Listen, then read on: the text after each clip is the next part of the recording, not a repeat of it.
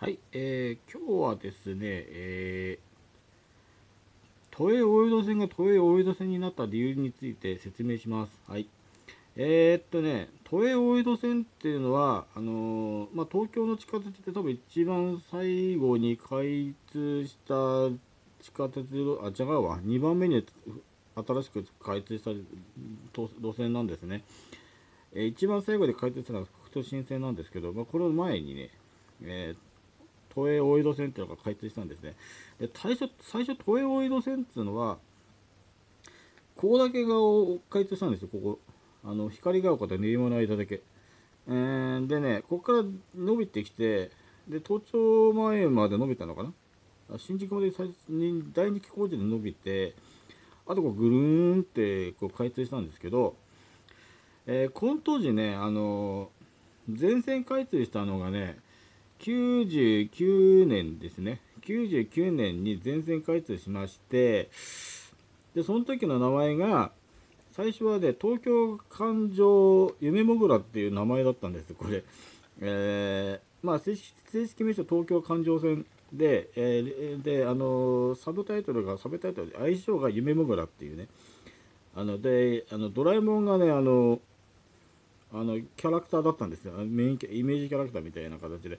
まあ、要するにね、地下鉄乗って、今までこう、あの、行けなかった汐留とか、うん、勝築地とか、ね、この辺、両国とかね、えー、ですよ、この辺、行けますよと。楽に行けますよと。六本木から、だから新宿から六本木なんて昔、地下鉄一本、一一歩でドーンって行けるようになったんですよ。だから、便利になったんですよ、これで。だいぶ。ね。そう、そうなんですね。飯田橋から新宿までジャンジョンって行けるようになったんですね。これも非常に便利な感じだったんですけど、うーんとね、これね、東京環状夢もぐらって名前を聞いてね、えー、ぶち切れた人がいるんですよ。えこれが石原慎太郎なんですね。あの当時、99年東京都知事になったばっかりですね、えー、お前ふざけんなと。で、交通局長呼んできてね、お前これが東京環状に見えるかと。お前、あのー、これで東京環状線なんて言ったら、お前何も知らない田舎者が環状だと思ってぐる環状だと思ってぐるぐるぐるぐる、ま、あのいや環状だと思って乗り続けてたらお前変なとこ連れて行かれるとお前苦情が来たらどうすんだと、えー、お前行ってみろって言われて。で交通局長が黙っちゃってですね、うん、今すぐ名前変えろと、うん。うん、で名前がね、分かんなかったら、俺がお前、大江戸線でいいんじゃねえかって言って決まっちゃったんですよ。これは有名な話なんですけど、うん。だから石原慎太郎のが案だったらしいんです大江戸線っていうのは。うん。で、あの、交通局長呼んできて、あお前、だからそんで、あの、名前がいい名前が見つからなかったら、うん、いや、大江戸線でいいだろうって言って、うん、そうしろって言って、そうさせたんですよ。だから大江戸線なんですよ。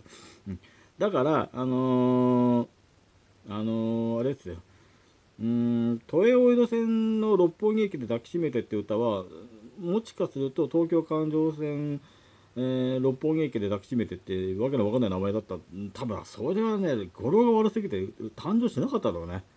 都営大江戸線のっていうのは、あれ、都営大江戸線だからいいんだけど、都営、都営、東京環状とかと語呂合わないもんな。うんそうなの？まあそういうことです。はい。というわけで、えー、石原慎太郎さんのご冥福をお祈りいたします。ね。はい。ということで、今日こういうことで、まあ、ふと思ったんでね。うん、これ、石原慎太郎さんの、これが、あの、もう、あれですよ。これはもう、えー、なんかね名を、名を残すっていうかね。うん。まあ、これは、あの、都知事の石原慎太郎さんが名付けた名前だよっていうのは、まあ、知ってる人は知ってるんで、まあ、語り継いでいこうかなと思ってます。鉄道オタとして。うん。はい。あと、石原慎太郎さんの、まあ、あの、功績といったら、もうディーゼル規制だな。うん。あの、やっぱり、あの頃ね、まあ、ちょいちょい東京は行ってたけど、やっぱりね、あの東京着くとね、やっぱもわってね、なんかね、ああ、なんかこれきついわっていう空気だった。うん。で、今冷静に考えてみたら、東京ってあの、冬も夏もそうだけど、割と空が青い青空がパーって見るようになったんだよな。うん。だからやっぱりね、あれ石原慎太郎がディーゼル規制やったおかげなんだよ、あれは。やっぱり、うん、あれがねだって俺な92年の夏なんてねもうあれ東京夏なんか東京行くとねあの晴れてんだか曇ってんだか分かんないってかったかもな本当にあの上空がでもっと昔なんてあの84年とかあれ修学旅行行った時90ああ何年だあれ修学旅行行ったのが88年ぐらいか。あの時だってねもうなんかねあのわかるかなあのバスの配達みたいなニュースしたんだよどこ行っても。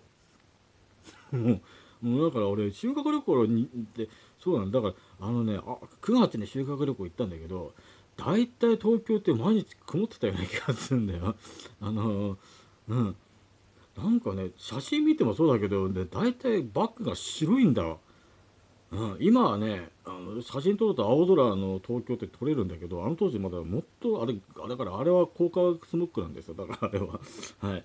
まあそういう功績もあった上でですね、まあ、再び改めて言いますけど石原慎太郎さんのご冥福をお祈りします。いつもまでお疲れ様でございました。以上です。